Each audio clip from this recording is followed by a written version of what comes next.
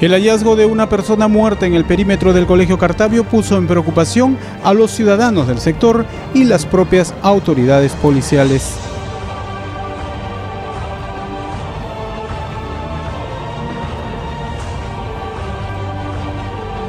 Según la policía, la víctima presentaba señales de haber sido golpeado en otro lugar y haber sido trasladado hasta este paraje de la ciudad. Inmediatamente vimos una apreciación del lugar y presentaba parecer signos que ya no había en el lugar, sino parece que lo habían este, traído. ¿no? Y estaba hasta ese momento no sabíamos quién es, porque preguntamos a los moradores del lugar, nadie lo conocía. Posteriormente, cuando continuamos con las investigaciones, determinamos que era la persona de Víctor Hugo Sánchez, de 38 años de edad, ya lo hemos verificado con la RNET, el que estaba ahí, ¿no? presentaba golpes y un corte en la cabeza. Entonces ya hemos comunicado ya ese hecho a la fiscal, a la fiscal, la doctora Ruiz Guío, que es la fiscal que está de turno en el momento, y ya se ha presentado, ya se ha hecho el levantamiento del cadáver, ¿no?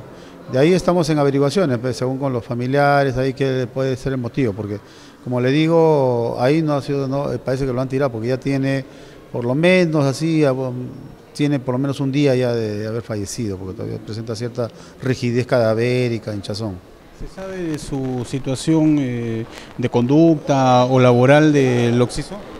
Más o menos, ¿no? Pero no más o menos tenía algunas unas cuestiones, parece más un hecho como se dice un poquito de venganza, de problemas, algo, ¿no? Porque sí tenía un tipo de conducta el hombre. Pues.